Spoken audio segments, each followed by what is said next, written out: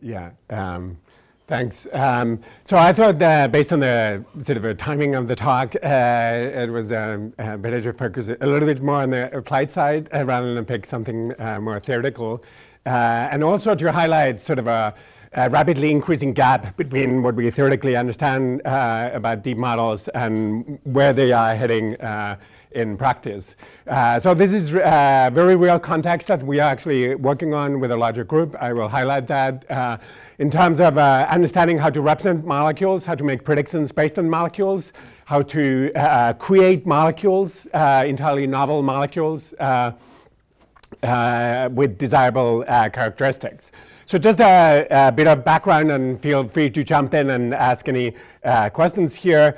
Uh, so uh, what are molecules as graphs? We uh, uh know about the annotated graphs. So what's particular about molecules uh, as graphs? So you have, um, here's a particular antibiotic uh, molecule. It has node labels, so the atoms vary in its node. you have edge labels. atoms are bonded together of different types of bonds you have substructures that are kind of a larger motifs that are actually important structurally how these uh, uh, graphs uh, behave as molecules. And you also have 3D information that are the little wedges there that kind of highlight whether the thing goes in uh, into the board or uh, out of the board. Okay, so why, why are these type of structures then interesting from a machine learning perspective? Uh, why would we uh, want to work on them in terms of uh, from an algorithms or theory uh, perspective? Well, they are very rich and complex objects, and their properties actually depend sometimes very intricately, intricately about the fine structural uh, details. Uh, so it's a complex, real problem that we want to solve. There's quite a bit of data about molecules, but it's not uniform data. There's small data, there's big data, um, and there's uh, heterogeneous da data of different kinds. But you have quite a bit of data to learn about how, uh, what these objects are and uh, what they should do. There are tons of uh, interesting estimation and inferential problems uh, in this context. And just to name a few is uh, the standard machine learning problem. You have an object, you predict its properties. That already is a challenging problem with these type of structures.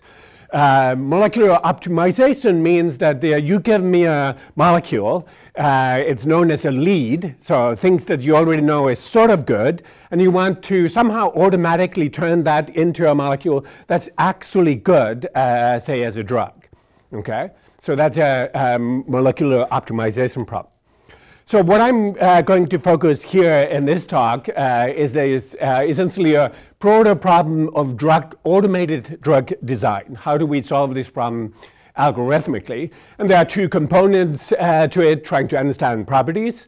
If, if, I can't predict properties, I don't know how to uh, modify it. Um, and then how I uh, actually solve the optimization problem, turning it into a better version, it, uh, turning it into an entirely new uh, molecule.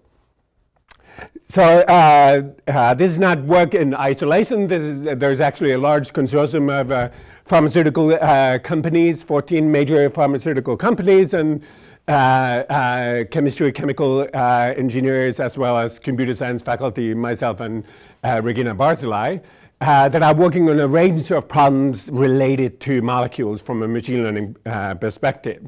Uh, so you uh, try to lift the chemical literature into a computational form that can be used for models. That's an NLP task. This is the molecular property prediction, molecular optimization part that I will focus on. Uh, you can try to understand reactions that are kind of a step beyond individual molecules. You have a set of molecules and you want to predict what comes out of that reaction. So it's a set of structures to a set of structures uh, problem. And you want to optimize those reactions for, so that a particular compound is uh, more likely to come out of the uh, reactions. And also then uh, something called a retrosynthesis uh, problem. You're given a molecule. Uh, this is what I wish to manufacture how do I find the sequence of steps to actually get there? So that's uh, often formulated as a sort of a reinforcement learning problem. It's a type of inverse problem where you have an uh, inverse problem you're solving is actually a sequence of uh, structural steps. Okay. But uh, today I'll just focus on uh, one uh, part of it and try to highlight that further.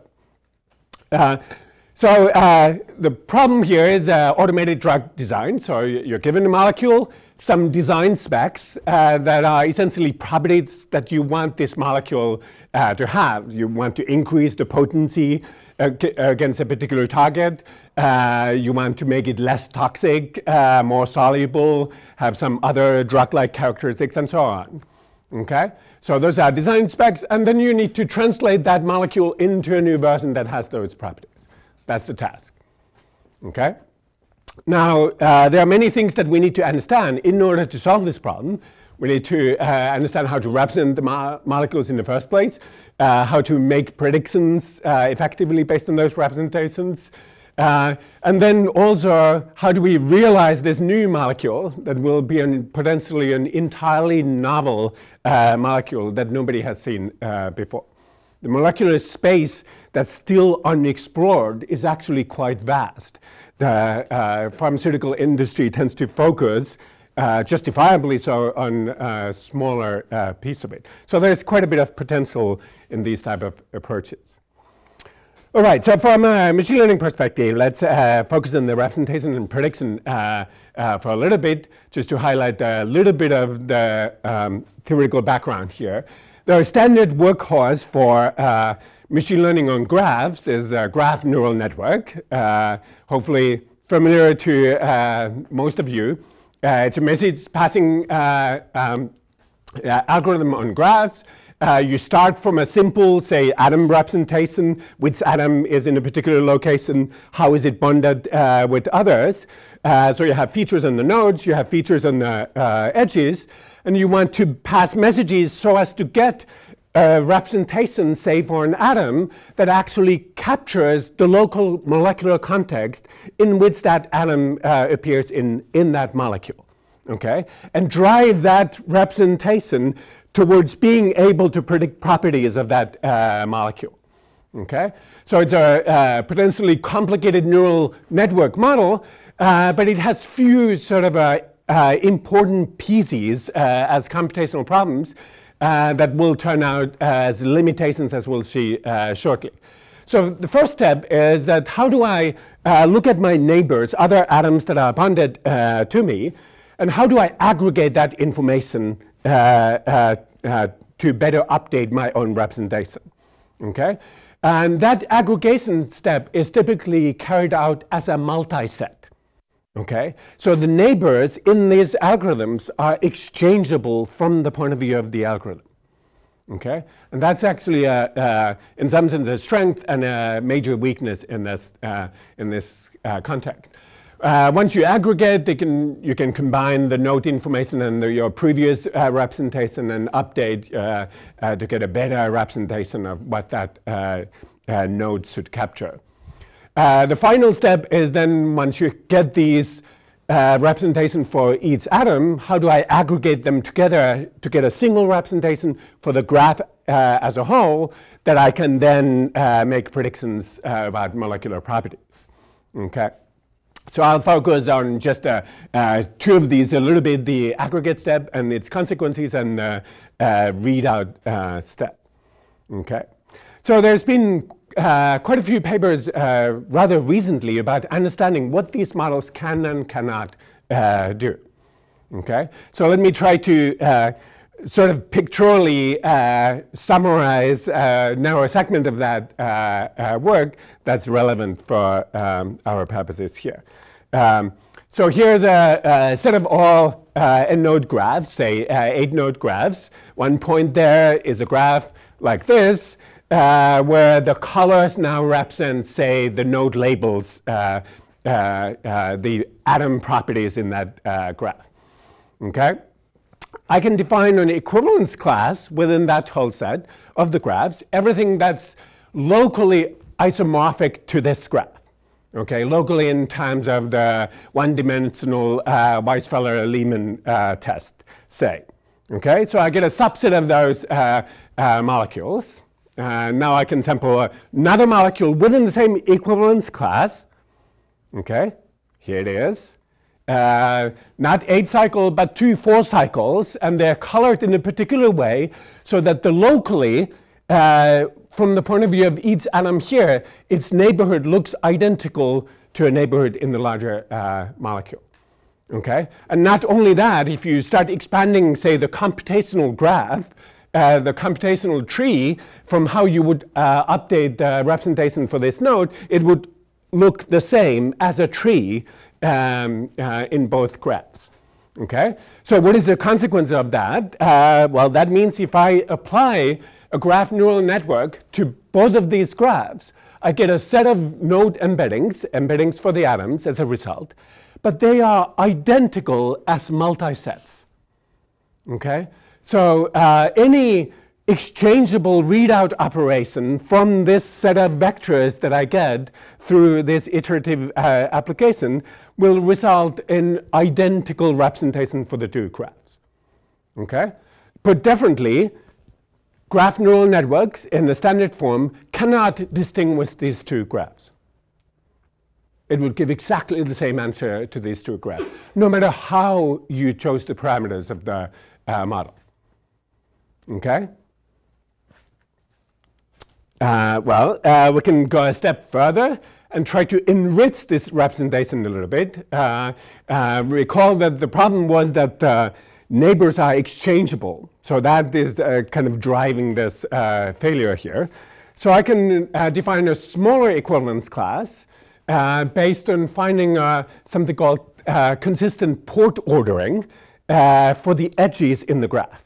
Okay, so the edges are now no longer uh, unnamed. You have a name for each edge. So I know that I'm receiving message from you, and I can uh, tailor how I'm uh, accommodating that information in the algorithm because I know it's coming from you. Okay?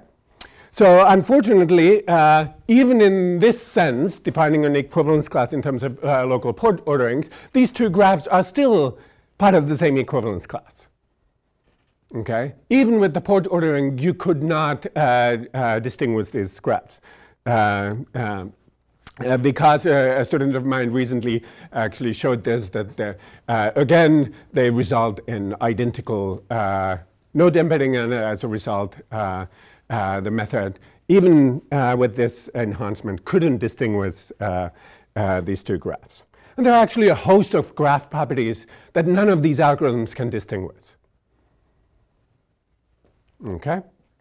So that's a problem in our case, uh, since molecular properties actually uh, depend on these higher order structural features, so we have to somehow build them in.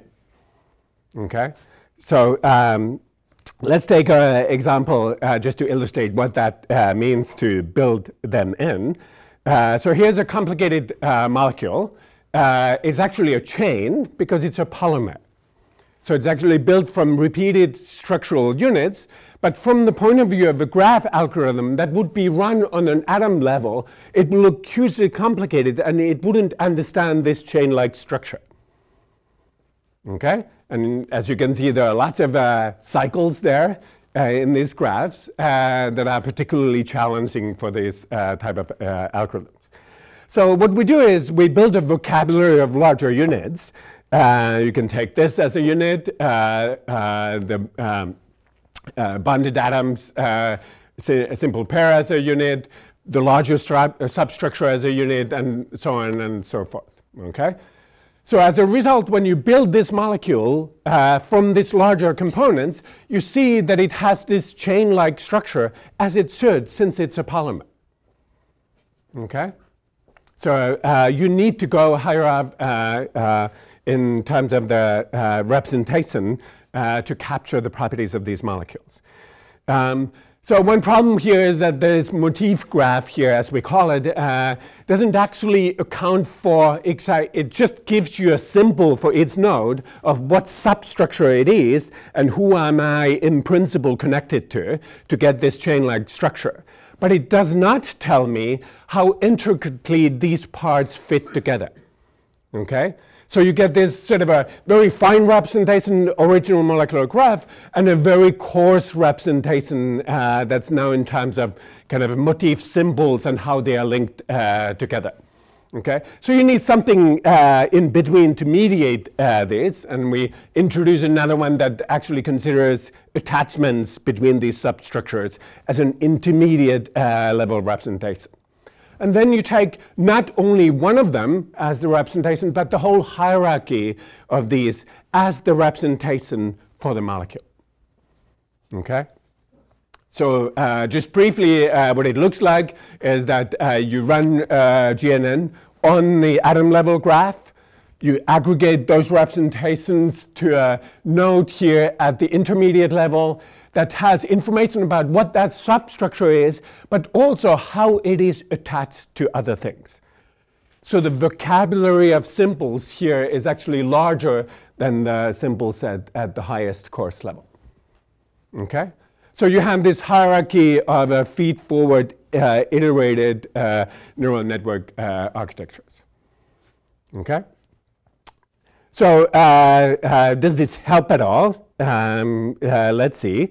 So here's a simple example of predicting solubility um, of a molecule. so you have a simple message passing neural network. it gets to a certain error level uh, with just getting information about, say, atom type and uh, the bonds between them. So very rudimentary feature representation of the molecule first, and then you run GNN. The second one is you start uh, incorporating handcrafted features about the local context in which those atoms uh, appear.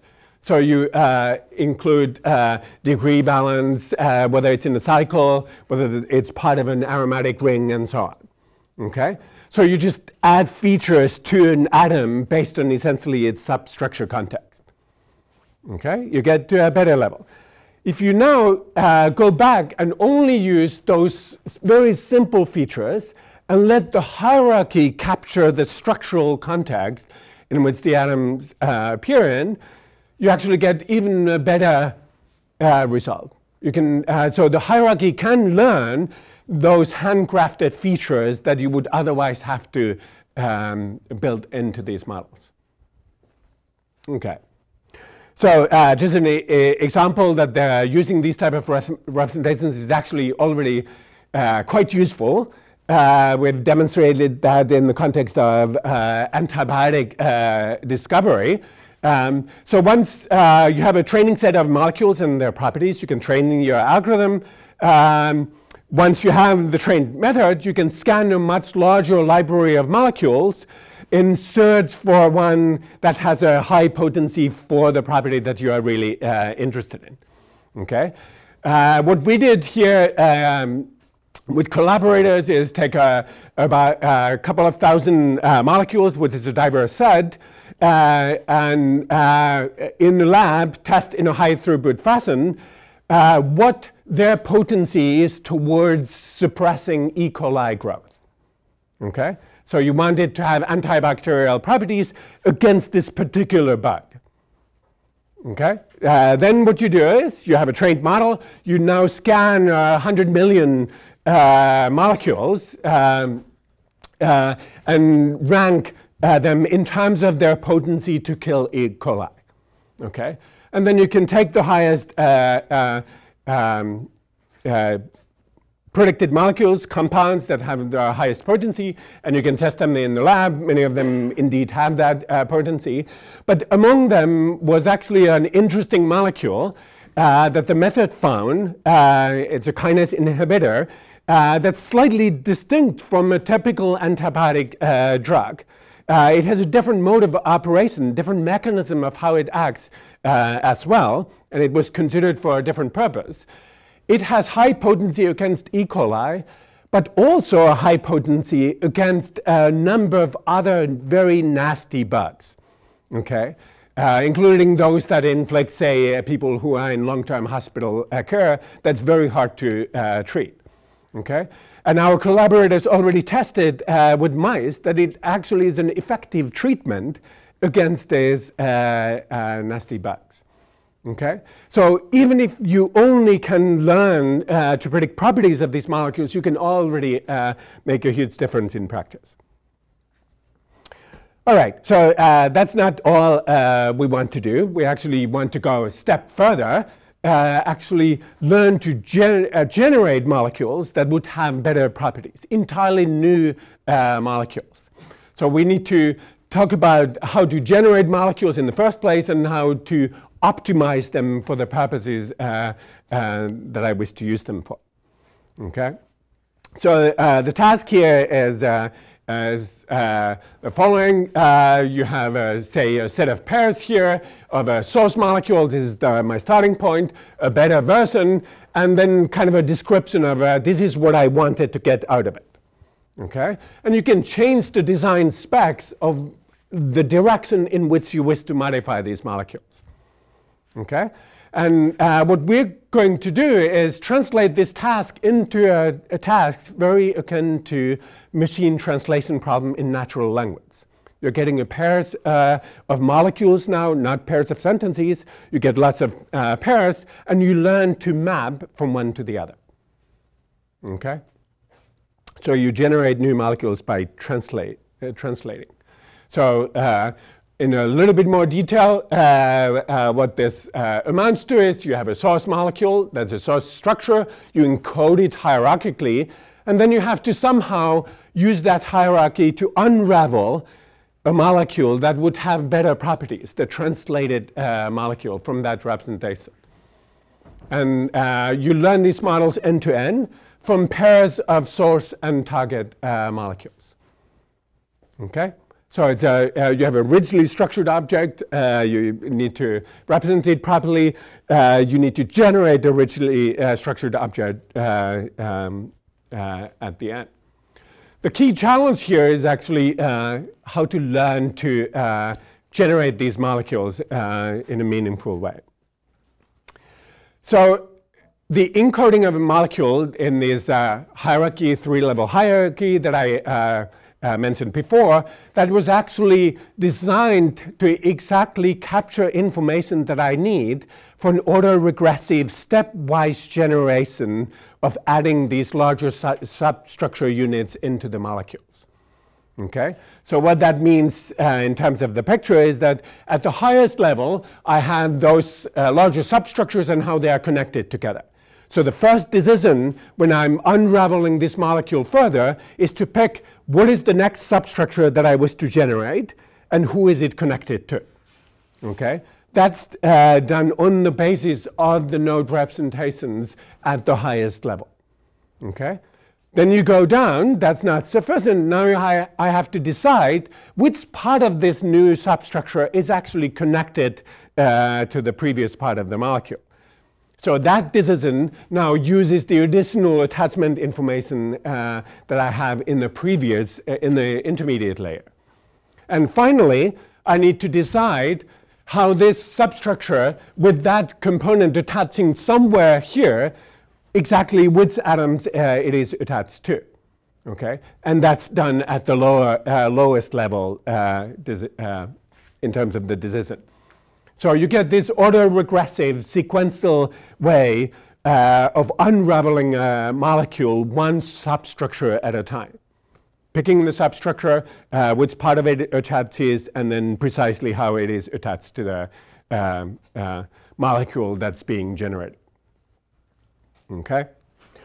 Now, uh, this uh, hierarchical generation actually carries a number of benefits. Here's uh, one illustration of it. Uh, so what if you train this model and then you're getting a test uh, molecule and you just ask, can I reconstruct it? Can I encode it and I can, can I unravel the same uh, molecule? Okay, so a simple generative uh, graph generation model that's based on say atom by atom generation here starts really failing as the molecule becomes larger. Okay, uh, but if you generate the molecule in this hierarchical uh, fashion, substructure uh, at a time, uh, you actually maintain the accuracy of reconstruction regardless of the size of the molecule that you generate. Okay? As is sort of a typical in these type of models, you need to explicate and connect the information with very low, short connections in order for these uh, models to work well. And if you generate it atom by atom, very quickly it starts forgetting what the actual uh, context is, and uh, it's harder to plan to unravel the molecule. Okay? Um, so there are other uh, uh, pieces to it, how to model diversity. You don't want just to generate uh, uh, uh,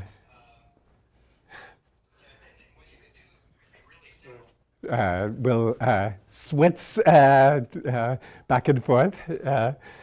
Um, all right, so you want to model uh, the diversity. So from a, any particular source, you don't want to uh, generate just a single uh, uh, output, but a population, diverse population of candidate molecules that would all have the desired uh, properties. And that you can incorporate with a latent variable into this model.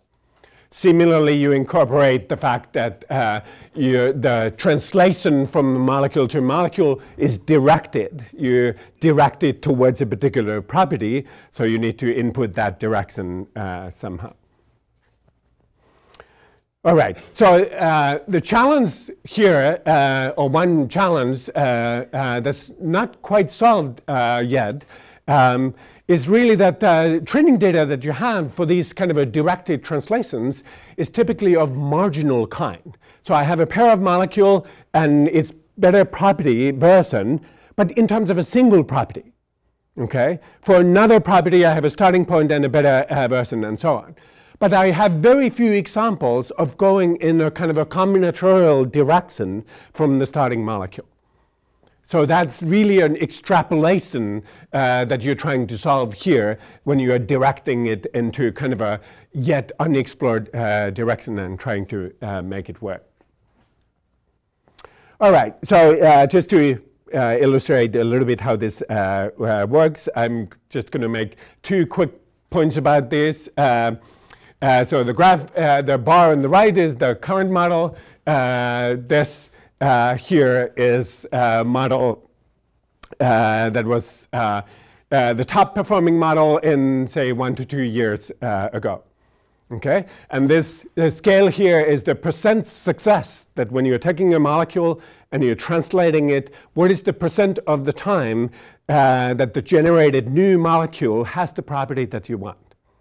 Okay, so from 3% uh, to 85% uh, success rate. That just highlights sort of how fast this area is moving into something that nobody would want to try into something that actually companies are now interested in uh, uh exploring uh, the molecules that we generate.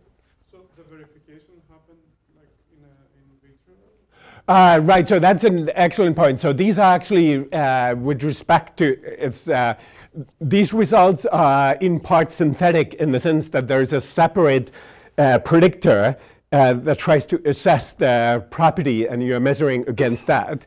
Uh, the problem here is since you are generating an entirely new molecule, uh, so to, to, truly assess whether it satisfies the property, you would actually have to uh, run it through a lab similarly to the uh, antibiotic discovery where actually a small set was run uh, uh, uh through in vitro studies. Tommy, yeah. In terms of feasibility, can you just create anyone or are there somehow constraints that make sure? So uh, these uh, sort of the criteria here was that you, since typically in sort of a pharmaceutical discovery, you have a lead that you already know is sort of good. So you want something that's similar uh, to the starting point and has a better properties. So the similarity here is part of the success probability that you want something uh, that makes some structural changes but not a sort of a from scratch uh, new molecule. You, in principle, you can put, uh, it's not clear that it would work as well, but in principle, the criteria that you're aiming for could be anything. This is just another example that highlights the same uh, thing uh, from a kind of a uh, useless method uh, to a useful uh, um, method in, uh, in a rapid turnaround. All right, so what's still difficult, this is an illustration of that, is this multi-criteria optimization, where you are going in a direction that you haven't really explored in the training uh, so the numbers here in terms of going into new direction, the success rate goes down considerably as a result. the model hasn't really been directly trained towards that. But in the sort of a low um, teens uh, success uh, percentage is already starting to be useful. You can uh, sample 10, a diverse set of 10 molecules and run them through the lab and at least get one uh, that actually would have that uh, property. So it's reaching it, but not quite there yet. Uh, I'm uh, going to skip this. Uh, you can do ablation studies of uh, figuring out that actually the PCs that I described are all necessary to get the level of uh, performance. The last thing that I wanted to uh, talk about is that there are like a sort of a stochastic gradient descent, which is an embarrassingly simple algorithm that works incredibly well in practice. Uh, there are also additional incredibly simple things that you can do to make these uh, models work much uh, better. Um, and uh, this is uh, one example of uh, such a method. So we've already discussed that it's very hard to learn to translate from one structure to another. Okay? It's much simpler problem to learn to predict its properties. Okay, so from a smaller training set, you should be able to learn a better predictor than a translation model. Okay, so somehow that predictor should be able to help uh, the model to get even better. Because now you essentially have a free assessor of the candidates that I generate. Uh, I can weed out those that don't appear to be good and provide them as additional targets uh, uh for the model. So we should be able to uh, kind of augment additional targets in a semi-supervised uh, uh, fashion to make these models work even better. Okay, so uh, theoretically, this is uh, actually a very simple uh, setup. a flashback from the 70s. It's just a stochastic version of an EM algorithm where the likelihood model is now the property predictor. It assesses any particular uh, the probability that you, the molecule, any particular molecule, satisfies the uh, design specs that I want. The prior here is the translation model uh, that I trained. It tries to take an input, the source molecule, and generate valid um, targets that would have those properties. And you're just trying to maximize the probability um, that your generated candidates uh, would satisfy the design criteria according to the property predictor that you trained. Okay? So you have a, classifier that tells you if, if it's going to have the property? Yes. So uh, you give me a data set uh, that has a, essentially molecules and their properties. I can arrange that data set into pairs of a molecule and a beta molecule. The, that's the training data for the translation model. I can also at the same time take that data and train a property predictor for any molecule uh, predict its uh, properties. Now the question is how do I combine the two to make it even uh, work even better? Get gradients and backprop through everything? Uh, well, uh, only in a heuristic way since the summation here is over all possible molecular graphs that I could generate. So I can't uh, really sum through it. Um, so this is just sort of a, essentially for illustration of what I'm aiming for. Uh, uh, maybe you mentioned this, I came late uh, for your talk, uh, but it is in some sense an inverse problem. Uh, the likely, I'm, I want to invert the likelihood model, which is the property predictor, and find instances of a molecule that score high relative to that. Uh, that inverse problem is actually quite challenging. in principle, I couldn't train the model in this way, um, because I can't draw posterior samples. Uh, the model itself, the translation model, the prior is highly complicated. Um, uh, I don't understand it fully. I don't understand how it intersects with the likelihood model. So drawing those samples is incredibly hard. Okay. What saves us here actually uh, is the fact that the prior model here is already quite good. Okay, based on the previous results. It actually, with uh, relatively high probability, generates uh, valid molecules that have the property that I want. Not all the time, but uh, some of the time. Okay? So you can actually solve this with a simple uh, um, rejection sampling uh, scheme. You generate targets for any molecule that you have, you generate valid targets. You weed out with the property predictor those that don't appear to be good. That gives you additional valid targets for your translation model, and you can retrain the translation model. Okay? So that algorithm is nothing but an EM algorithm, but cast in a stochastic uh, fashion. And the only reason I can run it is because um, the translation model is already good. Otherwise, it would be rather hopeless to try to uh, get the posterior. All right. Um, so this is just an illustration of uh, uh, generating a, a, target and weeding out uh, some based on the property predictor. So how well does this combination work? Uh, so here's a, a, comparison. Here's the previous model that I talked about, already uh, quite good uh, in terms of different properties. When you just add this simple um, stochastic EM component, you actually cut the error rate uh, that is the probability that when I generate a candidate molecule that it would not have the properties uh, that I want, you cut the error rate by threefold. Okay? So it's a quite an improvement with a very, very simple uh, uh idea. Okay? And perhaps surprisingly, the effect is uh, very, very robust. So if you make the property predictor simpler and simpler, so it's, uh, it's very easy to estimate from the data that I have, more, uh, uh, more easier the simpler it is, but its error rate uh, as a predictor goes down, okay?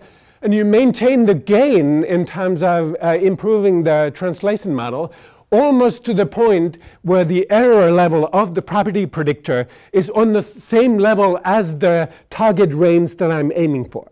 Okay? When I really, truly, information theoretically lose the signal, uh, at that point the gain starts going away. Okay?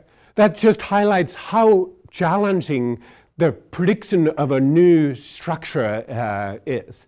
So this is kind of a, uh, setting analogous to sort of over-parameterization in neural networks. Some simple things work uh, in a new context, uh, whereas this type of approach would not have been used previously in a simple classification setting in a semi-supervised uh, context. It wouldn't work uh, nearly as well. All right, so uh, the point here uh, that I'm trying to uh, get across is that these molecules as structured objects, they're actually uh, embody many of the challenges that we, would ha uh, we have uh, uh, in terms of predicting properties, generating, manipulating complex objects.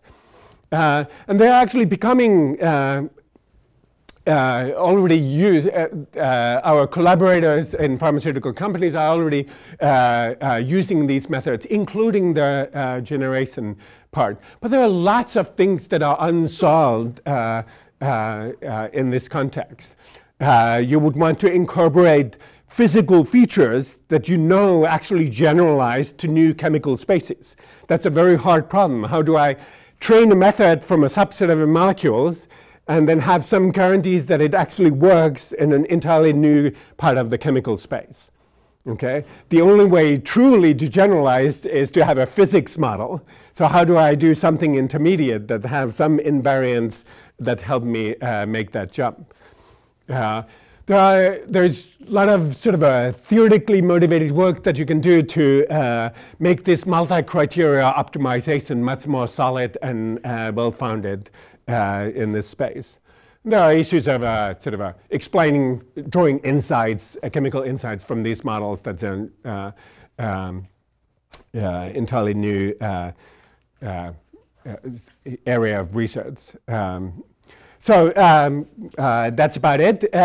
hopefully, what I tried to highlight is that there's actually quite a bit of need for theory here in terms of understanding how to make use of structured objects.